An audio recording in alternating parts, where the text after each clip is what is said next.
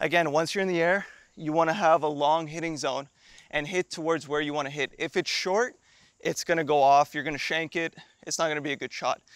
So once you're in the air, you have to make sure that you're strong, your core is strong, everything's balanced, and you have a long hitting zone to wherever the target is. Even another good exercise is what I just did, just standing on one foot and just trying to hit. You see, even I'm losing balance here. It's not easy. You have to maintain it and try to hit the shot. And that just engages the whole body and helps you get an idea of what it feels like.